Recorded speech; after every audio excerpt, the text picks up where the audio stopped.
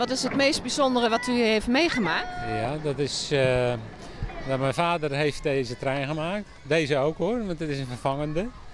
En eh, dat ik mijn vrouw hier heb ontmoet.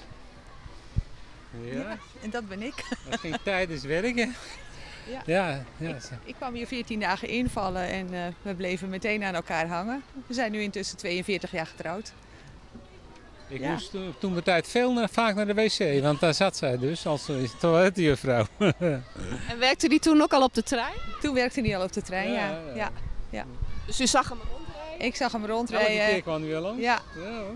en naderhand ben ik dus nog uh, kassière geworden.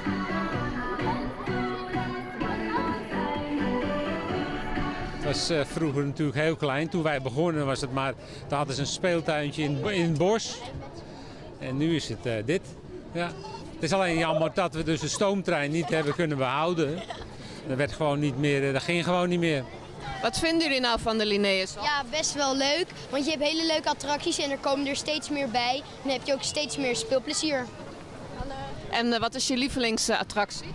Nou, ik vind alle attracties heel erg leuk. Ja, ik vind de reuzenglijbaan wel leuk en de trampolines. En dit, is, eh, dit treintje? Vind deze trein... Ja, ik maar hij gaat wel een beetje langzaam, hè? Maar het is wel leuk. Nee, deze trein zien. heb ik altijd leuk gevonden. Ik ook. Daar reden we altijd in met onze moeder en daar hebben we nog goede herinneringen aan. Ik ook.